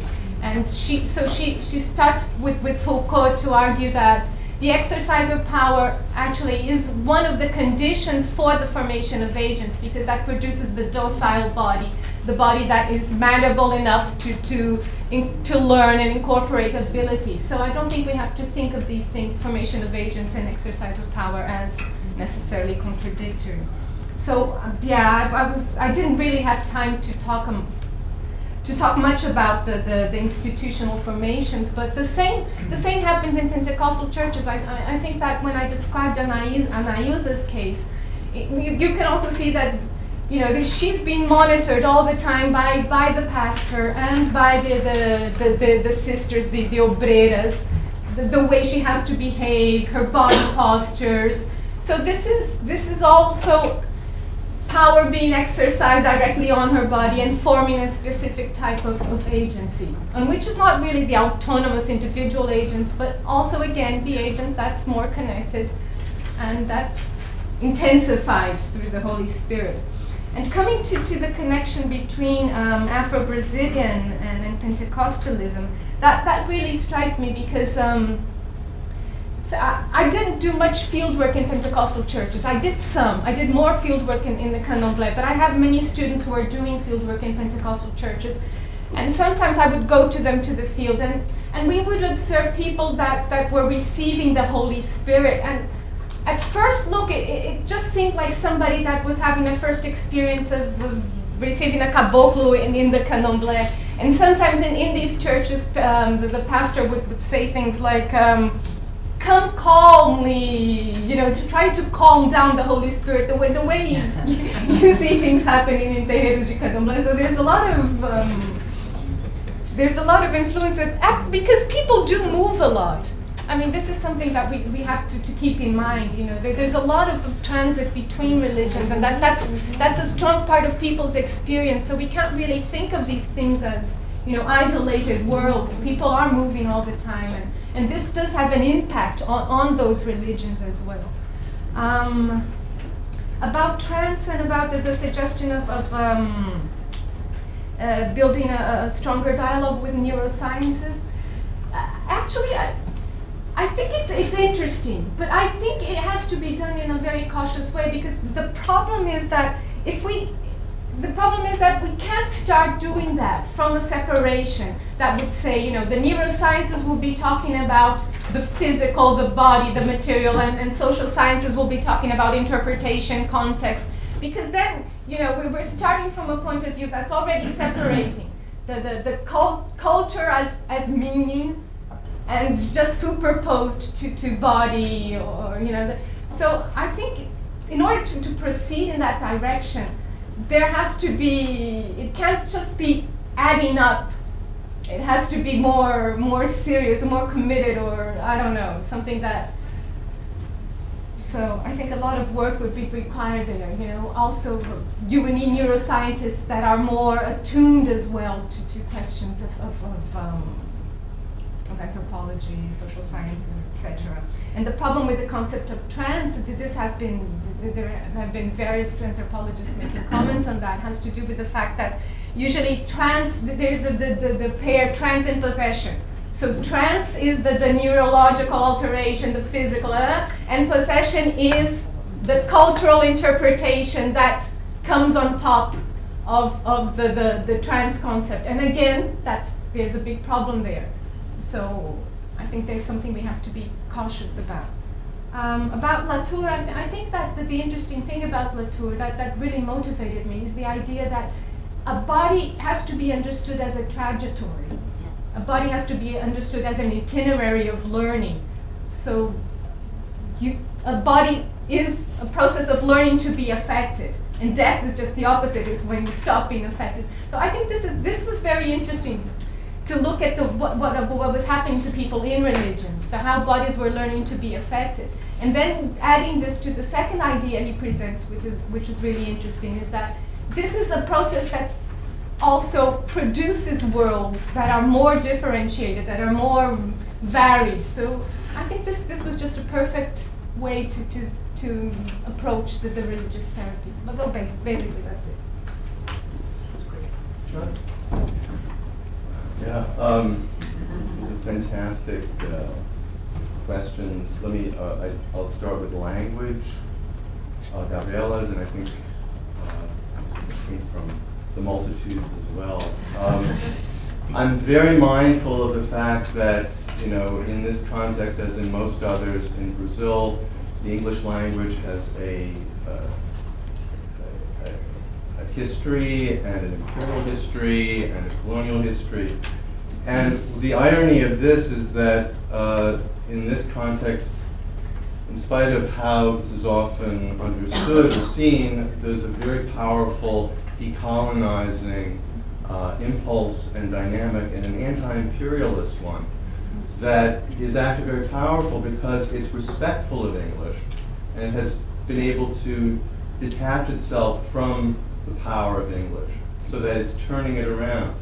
Uh, in, in performances, there'll be one sort of, we're going to now sing one spiritual in English because that's the root, but now we're going to be singing all the gospel that we write, that we produce, because Portuguese, after all, is the language of God. I mean, we know that God is Brazilian. And so the universalizing claims of English have been turned on their head, and uh, my feeling is very much that universalizing power is appropriated into black gospel, and there's a kind of liberation that's happening here. So there's certainly English is present, there's this interesting relationship with it, but there's not a sense of submission or subordination, because there really is, you know, a, a, lot of, most of the writing uh, of the, the, uh, the, songs and the music is, is Brazilian. Um, and the lyrics are Brazilian. So there, there is the singing of some in English as a kind of a nod to history and then moving on.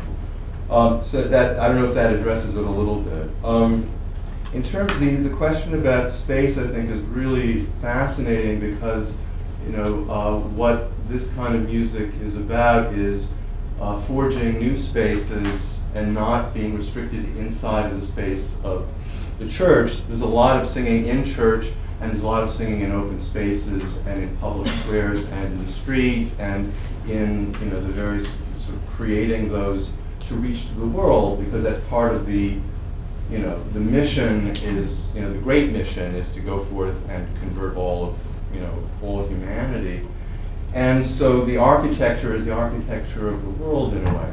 That being said there's a very interesting understanding of the space of the church as there are certain uh, spaces that are more and more sacred even though that's often uh, alien to the at least ideological notion of evangel of, of, the gospel that all space is sacred. There's a sense of, of unevenness, so that um, black gospel based in blues spiritual, you know, spirituals and blues is okay all the way in the, in the inner sanctum and on Sundays, but you don't bring in rap and you don't bring in samba.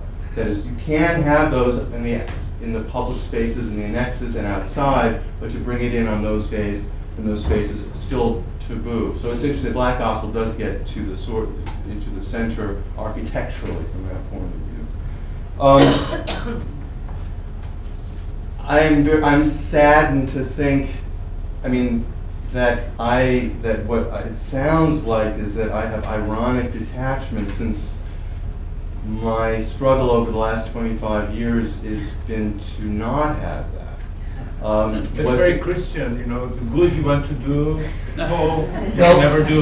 This began some about 20 years ago when I was working on an earlier project on uh, looking for God in Brazil. And I came to pre- present the results to a Pentecostal church, and I was so proud that I'd done the analysis and I was giving the testimonies and I was analyzing the gender struggles and this and, and the class dimensions. And because the pastor had, had welcomed me into the assembly to do this, and the woman raised her hand in the back and she says, So you're saying that we're here because we have problems? Oh my, that, that, that's, that is what sort of the sociological imagination has generated, and there's no bridge. And since that moment, I thought, no, I, I have to be able to do something else. And if I fail to do that here, then that's, that's on me. And, but, it's, but I agree with you that that's the project, is to not um, have that irony, and, you know, but to have deep, abiding respect and it shows that I have more work to do in my internal spiritual battle. uh, I, I couldn't agree more that th- these are these are rhet- rhetorical devices. I think of rhetoric as as a interface between the, the material and the spiritual, and so I see that as exactly what's going on here, and that is empowering and enabling. Um, I hope that nothing I said here makes it seem that I think of these of anybody as a victim or disempowered. Um, gospel is a business. What I think it's all a business. What I think is really interesting is the generation at the local level of all sorts of other dynamics that are not just about business. Uh, from you know the crews on the street who are doing happy go- uh, you know um, uh, happy gospel to the choirs that form spontaneously because they just need to be singing in this way. Clearly, they're listening to Kirk Franklin, they're listening to Sergio Saas, they're listening, but there's but there's something there, and I think that for us to, I mean, I don't think that's what you're implying, but to reduce that to a kind of a- an effect of a system uh, that's mainly about the material and power, I, I think is not it impoverishes or, or it doesn't allow us to understand why this has traction. And I'm trying to get to that, like where the meanings are, as Emily Dickinson has asked us to do. And uh, last two two more points, the, the political dimension, I didn't get to it. Actually, I have a whole two chapters of that about that in, in the book. And thinking about how, how the kinds of patterns of worldview that I've tried to map here have political effects. The one that I would draw attention to is in constructing uh, new models of being church. And the, of the men think about wanting to build a church that is led by, by negros. I mean, they're thinking about creating uma igreja negra and thinking about themselves as occupying positions of leadership. The women are fine with that, but you know that's not the real driving. But what they want is what we have now in these churches, let's start on Sunday schools, let's start talking about the role of, of uh, Africans in the Bible. Let's start reforming what we have. We don't have to create a whole new institution. We have to start reforming this. And so there's a lot of interesting things to be said about that. And then uh, I, was, I don't want to go into neuroscience. I love neuroscience. I want to learn more about it. I actually think that I agree completely with Miriam. Uh, but we do need to understand theta waves and beta waves and alpha waves, and if we don't, we're lost, because I think that there's something real going on here. Um, that being said, I don't want to, I think we need to develop synthetic ways of, looking at, at these things. Um, last thing, uh, there was one other thing. There's so much you guys the devil's agency. That's enough. What? The devil's agency. How, how, how the radical critique that the devil might allow this woman to produce was a previous question. Well, I, I love the fact that, you know, um, well, two things. One is that's what I thought I was saying. Uh, but even if, but if I wasn't, then there's enough there to articulate that, and I think that that's. I, mean, I agree with that, that. I mean, I think that you're right. That's exactly what's going on here, and that it, there is this objectification.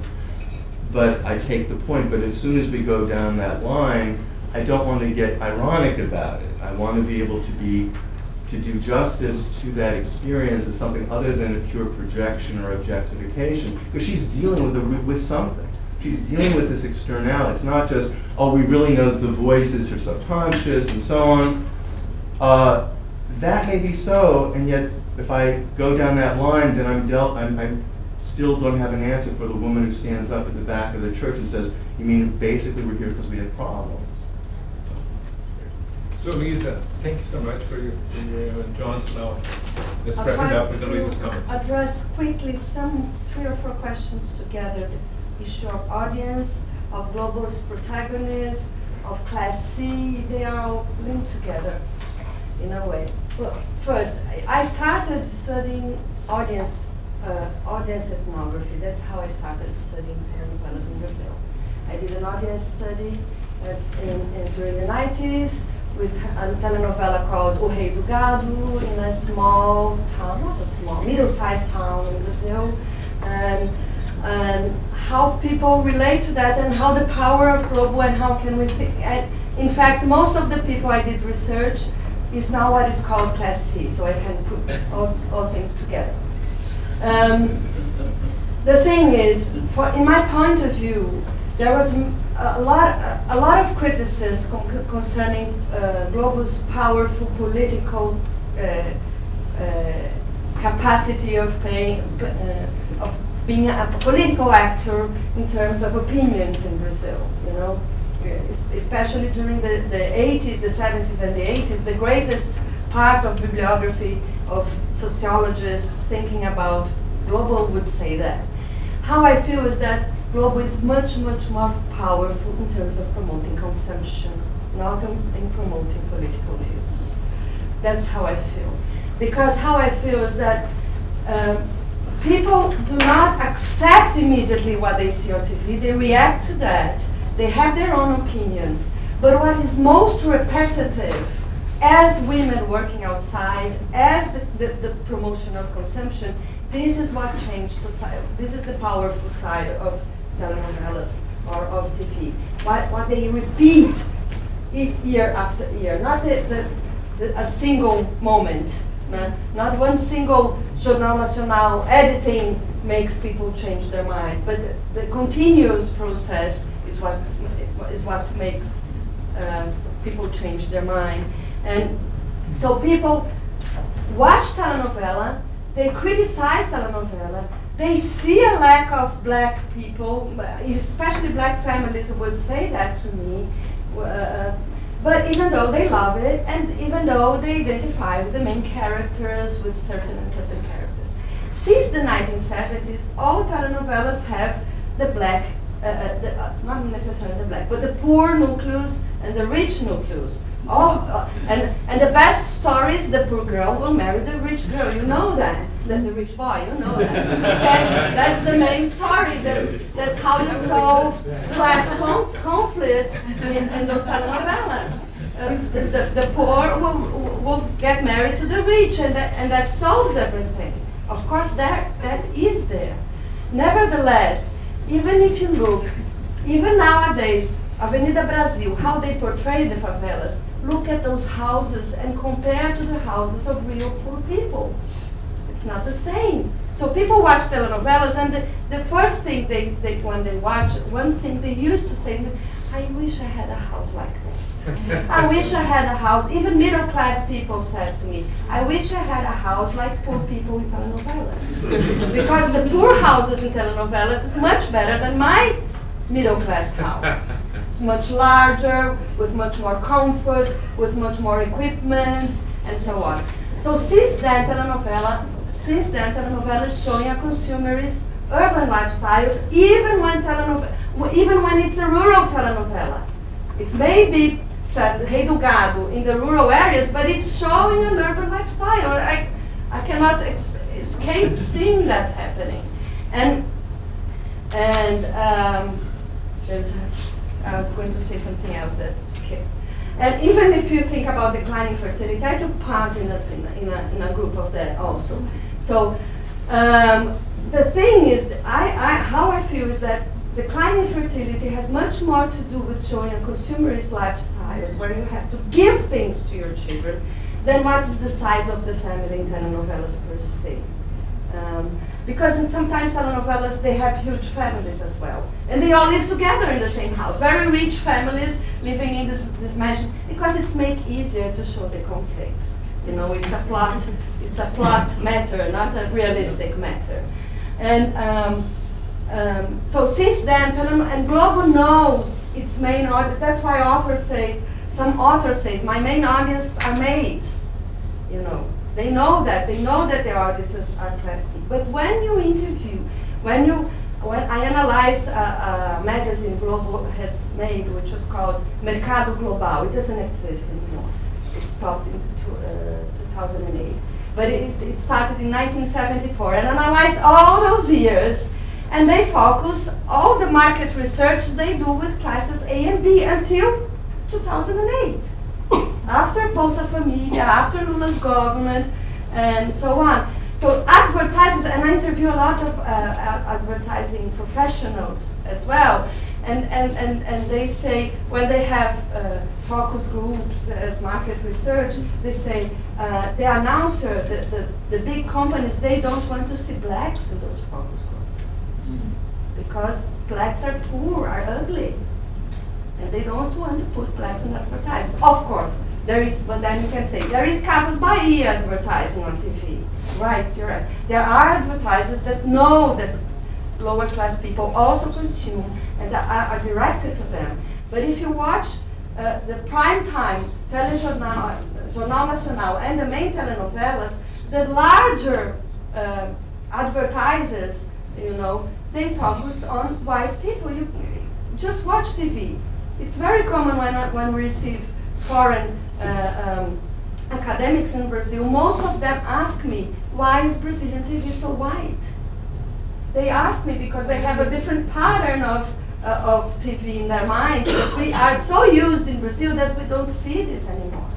But, and it still is, of course, there are some changes, a little changes. You can say, ah, Avenida Brasil changed something.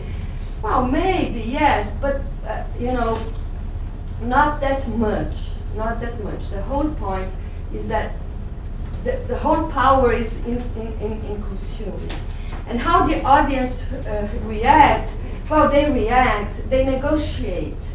But at the same time, the, the, less, the less formal education the person has, the more she feels she's informed through TV, she learns through TV. The more educated, the less you valorize TV as information. You know that. You have those feelings already. Um, Record. TV Record does not work as a cultural industry per se because the uh, SBT neither. That means they are not, uh, they cannot, uh, the revenues do, do not come from advertisers. They cannot sustain the, the, their production with advertising only.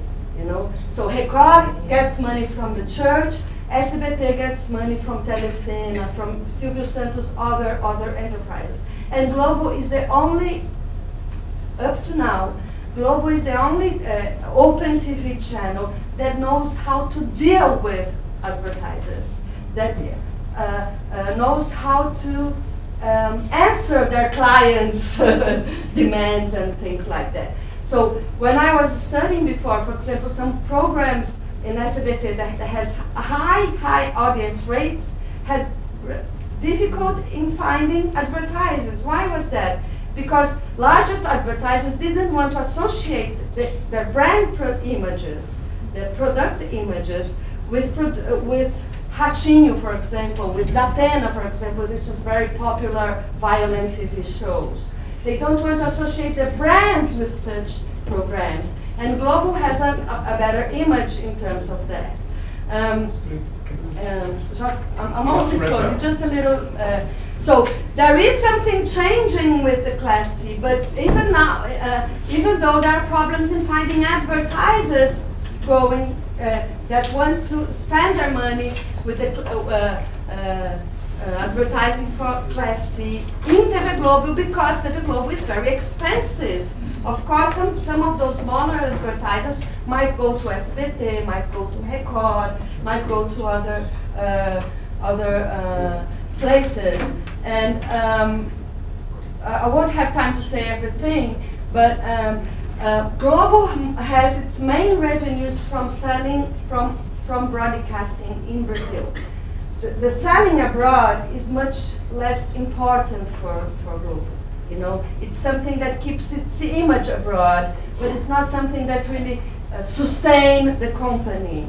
And uh, of course, they are, they, they are selling, it's uh, what I think is the most visible influence is on uh, Angola and Mozambique, where people really watch Brazilian telenovelas learning uh, urban styles, uh, Brazilian way of speaking Portuguese, and uh, admiring something in Brazil. I think there's there's some place. Of course, there was Escrava Isaura that was uh, um, um, exported to, even to China, Cuba, and everything. But it's not always that such that telenovelas have such success abroad. Oh, uh, there are many more comments I couldn't answer, really, but Guys, to be continued. This was terrific, wonderful. Thank you all.